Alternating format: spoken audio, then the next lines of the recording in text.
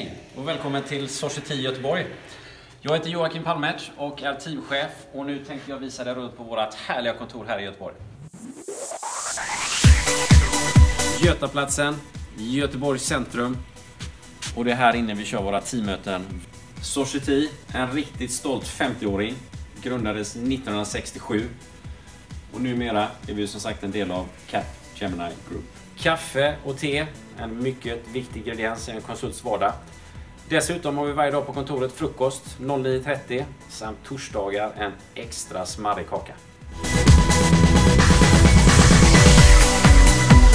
Tack för att du har hängt med på den här eh, rundturen på vårt kontor.